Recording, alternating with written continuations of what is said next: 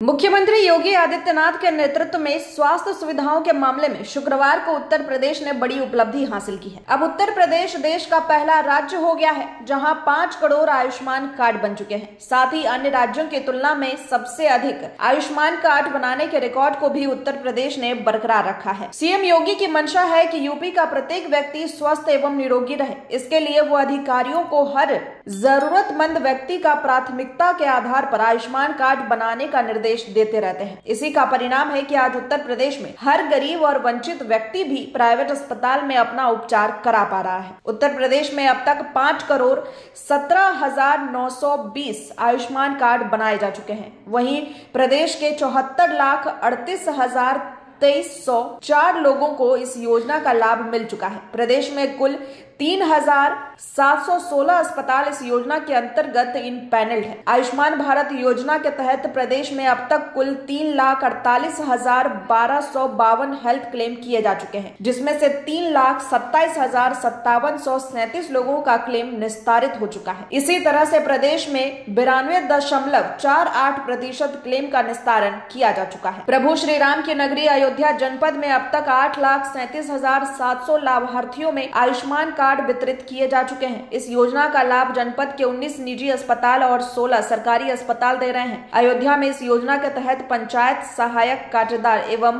आशा कार्यकर्तियों द्वारा घर घर जाकर पीएमजेवाई मोबाइल ऐप के माध्यम से कार्ड बनाए जा रहे हैं। इसके अलावा गाँव के ग्राम पंचायत भवन पर भी पात्र लाभार्थियों के आयुष्मान कार्ड बन रहे हैं और इन सभी कामों के साथ उत्तर प्रदेश ने नया मुकाम हासिल कर लिया है। उत्तर प्रदेश ऐसा पहला देश का राज्य बन गया है जहाँ पर पाँच करोड़ लोग आयुष्मान भारत योजना का लाभ उठा रहे हैं।